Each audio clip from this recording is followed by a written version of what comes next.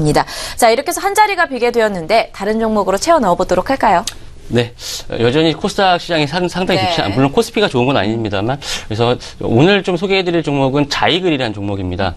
어, 자이글 좀 이름이 좀 익숙하실 것 같은데요.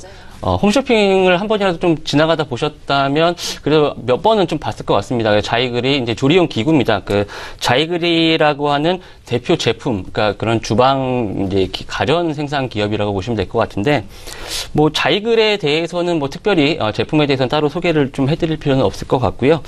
일단은 홈쇼핑에서 어, 누적 작년까지 2천억 매출을 달성을 했고 어, 연평균 성장률이 한 145% 매출 매출 기준입니다.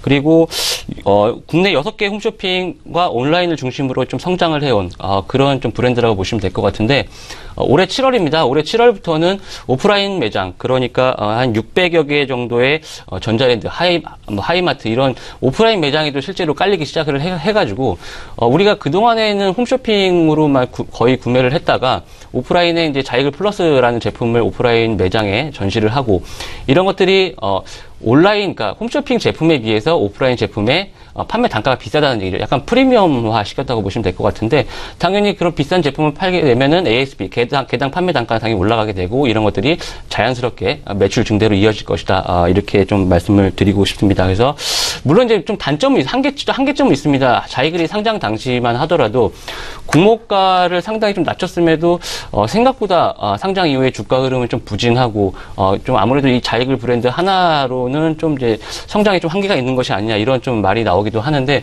반대로 본다면 수치로 보면 상당히 좀 좋게 볼 수 있겠고 이 세 번째 같은 경우에는 결국에는 국내에서 그런 좀 한정된 부분을 해외 시장 진출로 어, 새로운 성장 동력을 동력을 이제 확보하려고 하고 있다라는 점입니다. 특히 관련 특허가 한 600여 개 정도 되고요. 어, 일본은 일본에는 좀 진작 진출을 했습니다만 어, 중국이라든가 미국, 유럽 시장까지 좀 진출을 계획을 하고 있어서 이런 것들이 빅마켓으로 나가는, 그러니까 결국에는 어, 새로운 제품의 발굴이 아니고 한 제품을 가지고 국내에서 외국으로 가는 그런 성장 시나리오를 어, 그리고 있다라고 소개를 해드리고 싶습니다. 그래서 올해 실적 같은 경우에는 매출액이 한 1,257억, 어, 영업이익은 한 250억 원 전망이 어, 전망을 하고 있는데 상반기에 비해서 하반기에 대한 기대감이 상당히 높고요.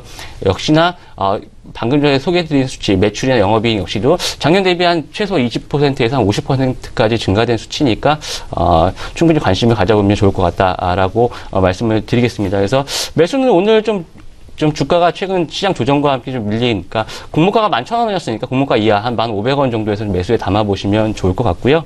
목표가는 좀 단기 관점에서는 한 13,000원, 어, 그리고 손절가는 좀 아무래도 시장이 좀 리스크 불안정하기 때문에 상대적으로 좀 짧게 한 만 원 정도를 잡고 대응을 하신다면 좋은 결과 있을 것 같습니다.